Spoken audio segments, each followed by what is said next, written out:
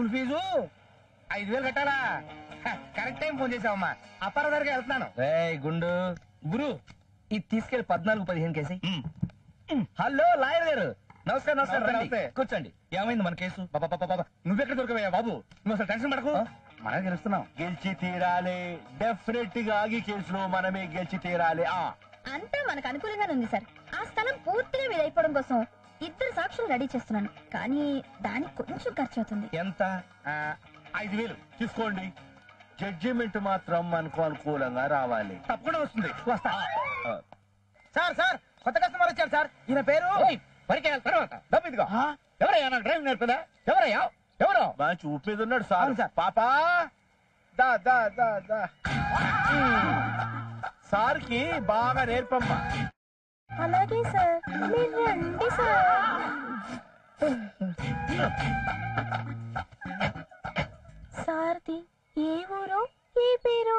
నెల్లూరు పెద్దారెడ్డి కదా నాలుగు వందల ఎకరాల పొలానికి ఆశావనయ్యంలా నీ పేరేంది పిల్లవు పాప. పాప? అప్ప. పాయసం మాదిరంలా చి పొండి. మీరు ఇంత ఆస్తి పెట్టుకొని మీ డ్రైవింగ్ నేర్చుకోవడం ఏమిటి? డ్రైవర్ని పెట్టుకోవచ్చుగా. దానికి పెద్ద కథ ఉండలా? నాకు ఇద్దరు పిల్లలు నాలుగు నెలలకు పిల్లలు దొరుకుతున్న ఇద్దరు డ్రైవర్లతో ఇద్దరు పిల్లలు లేచిపోయి ఉండలా అందుకే నేను నేర్చుకుంటున్నా అలాగా సార్. మొదలు పెడదామా? దీన్ని స్టీరింగ్ అంటారు. మా ఊర్లో చక్రం అంటారులే. కృష్ణవంశీ తీస్తుండలా? ఇది బ్రేక్. ఏమేం సార్? పాప నువ్వు అలా కాలు మీద కాలు వేసి తొక్కుతుంటే నా ఒంట్లో కరెంట్ అలా సలసల సల పాకుతుండలా? దీన్ని గేర్ రాడ్ అంటారు. దీన్ని ముందుకు వెయ్యాలి నువ్వే వేసుకోరాదా? నేను వేసుకుంటే మీకెలా వస్తుంది సార్ డ్రైవింగ్? పప్ప నువ్వు నా పక్కన ఉండాలే గాని ఈ కారేంది ఆ విమానాన్ని కూడా తోలిపారాయను అరే ఓ రెడ్డి సాబ్ జరా మీరు డ్రైవింగ్ మీద కాన్సన్ట్రేట్ చేస్తే బాగుంటది సాబ్. మధ్యలో ఏందివే ఈ చండాలమా? ఒరే బ్రోకరు. బ్రోకర్ కాదు సార్? మా ఓనరు. నీకు ఓనరేలే నాకు బ్రోకర్ అయి ఉండలా? ఒరే బ్రోకర్గా. అరే రెడ్డి సాబ్ మీరు మాట్లాడేది మంచిగా లేదు సాబ్. లేకపోతే ఏంది భయ్యా? ఆ, కారు మంచి కాక మీద ఉంటే మధ్యలో అడ్డుపడతావేంటి మీరు వచ్చింది కారు డ్రైవింగ్ నేర్చుకోవడానికి ఓయ్! సాబ్. ఆ, ఈ నెల్లూరు పెద్దారెడ్డి నెల తక్కువ నీకు డబ్బులు ఇచ్చాడు అనుకో లేదు సాబ్. ఏది నేర్చుకోవాలో నాకు తెలుసు. సాబ్. ఎలా నేర్పాలో పాపకు తెలుసు. నువ్వు రోడ్డు మూసుకో. పాప నువ్వు కుదరదు. పోనీ పోనీ ఈ పాప కూడా పోయినట్టే. ఇంకో పాపని మార్చాల్సిందే. మార్చాల్సింది పాపను కాదు బే. మరి దేన్ని బోర్డుని. ఆ? ఆ, కాన్ డ్రైవింగ్ స్కూల్ ఆడవాళ్ళకు మాత్రం నువ్వు వెళ్ళే కస్టమర్ చూసుకోమా కాను! ఆ, ఏంటిది? ఆ సంగతి మాకు తెలుసు. కానీ మన కేసు విషయం తేలే వరకు నేను ఆడవాళ్ళకి నువ్వు మగవాళ్ళకి మాత్రమే డ్రైవింగ్ నేర్పాలని అగ్రిమెంట్ చేసుకున్నాం కదా. ఆ, చేసుకున్నాం. నువ్వేమో హాయిగా లేడీస్కి డ్రైవింగ్ నేర్పుతూ ఎంజాయ్ చెయ్యాలి. నేను ఏమో ఈగలు తొలుకుంటూ కూర్చోవాలి. హాయ్, ఈ సెంటర్లో నీదో నాదో ఒక స్కూలే ఉండాలి. రేపటి నుంచి నీ స్కూల్ తెరవడానికి వీళ్ళే తెరిస్తే చెమపుతో.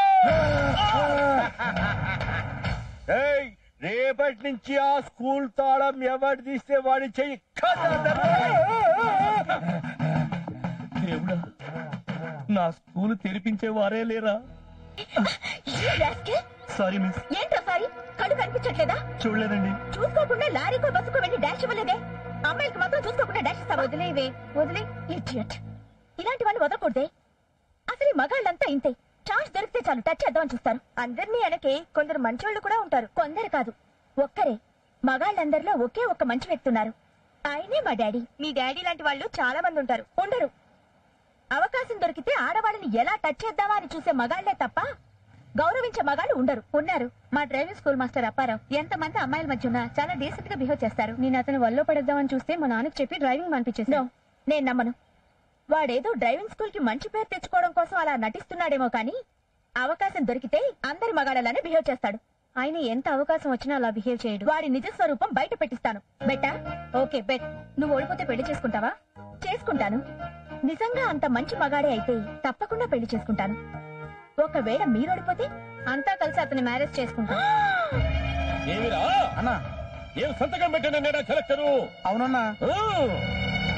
ఈ పులివెందుల వీరరాఘవరెడ్డితో పెట్టుకుంటే తాగేటందుకు కంజినీళ్ళు గుంక దొరకవని చెప్పు. చెప్పానన్నా. నాకు గింజనీళ్ళు కూడా తాగే అలవాట్లేదు అన్నాడు. అంతే మాట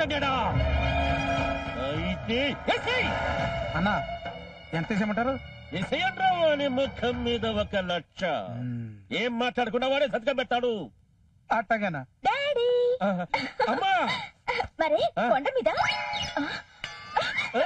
ఇదేంటి డాడీ? కోతిని తెచ్చావు? కొండ మీద కోతినే కదా మను రెమ్మనేటిది. తెచ్చినా? అది కాదు డాడీ. నేను మా ఫ్రెండ్స్ కొండ మీద పిక్నిక్ వెళ్ళాం కదా. అక్కడ మా ఫ్రెండ్స్ అంతా నాకు డ్రైవింగ్ రాదని ఎగతాళి చేశారు. నిన్ను ఎగతాళి చేసినారా? దీన్ని తీసుకో. అమ్మ ఎవరెవరు చూపిస్తే వాళ్ళందరినీ వేసేయండి. ఆగు డాడీ. వాళ్ళని వేసేస్తే నాకు డ్రైవింగ్ వస్తుందా? నేను డ్రైవింగ్ నేర్చుకుంటాను డాడీ. నువ్వు డ్రైవింగ్ నేర్చుకోవాల్సిన పనే ఉందమ్మా. పదమూడు మంది ఉన్నారు. అయినా నువ్వు డ్రైవింగ్ చేస్తా నాకు టెన్షన్ పుడుతుంది. నేను నేర్చుకునేది రోజు డ్రైవింగ్ చేయడానికి కాదు. నాకు డ్రైవింగ్ వచ్చని వాళ్ళ దగ్గర ప్రూవ్ చేయడానికి. ప్లీజ్ సర్లే సర్లే సర్లే. ఎలా నేర్చుకుంటావు?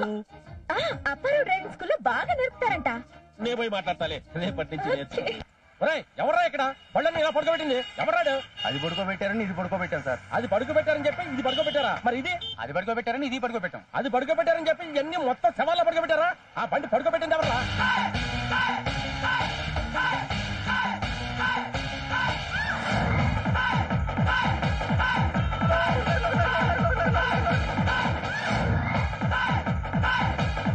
ఆ బండి పడుకోబెట్టిన వాడిని మక్కలు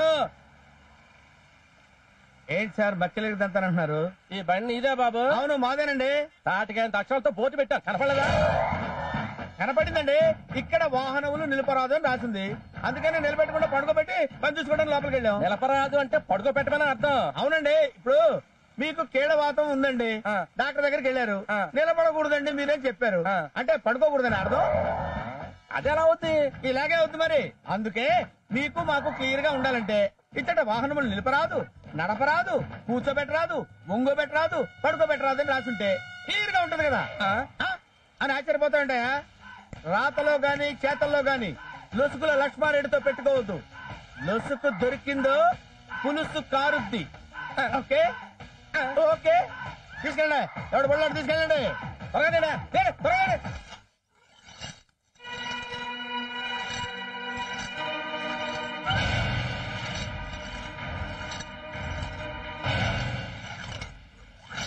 కరెక్ట్ కరెక్ట్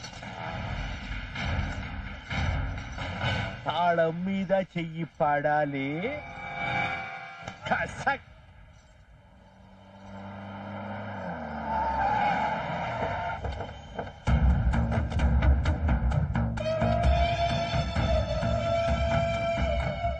పులిపిందులో ఏరా రాఘవారెడ్డి సాబ్ వచ్చాడు సార్. అరే చలో. సలామాలేకం రెడ్డి సాబ్. నమస్తే సార్. అమ్మో ఈ ఖాన్గాడ్ ఏంటి కడప రెడ్డిని తీసుకొచ్చాడు. ఇక్కడికి వచ్చారేంటి డ్రైవింగ్ స్కూల్కు అరే దానికి మీరు రావాలా? కుక్కతో ఖబర్ చేస్తే మీకు డ్రైవింగ్ నేర్పేవాడిని కదా. డ్రైవింగ్ నాకు కాదు కాను. మరెవరికి? మా అమ్మికి. అరే అమ్మాయికి అయితే ఇంకా ఖుషి ఖుషిగా నేర్పుతాం. అది నీ పోటీ గబ్బోళ్ళ కడ నేర్చుకోదు. అప్పారావు కడ నేర్చుకుంటాడంట. అప్పారావు? అరే అప్పారావు కూడా మన వాడే సాబ్. పిలవాలా సాబ్. అరే అరే హప్పీ. పులివెందుల ఏరా రాఘవారెడ్డి గారి బేటీకి డ్రైవింగ్ నేర్పాలంట. ఆజా ఆజా ఆజా. నమస్కారం అండి నువ్వేనా అప్పారావు? ఏం బీగ వేసినావు? ఈ పొద్దు సెలవా? కాదు. యమగండం అరే సాక్షాత్ యముడు లాంటి మనిషి వస్తే ఇంకా యమగండం ఏమిటివయా యమగండం లేదు సుడి గుండం లేదు. ఇటు ఈ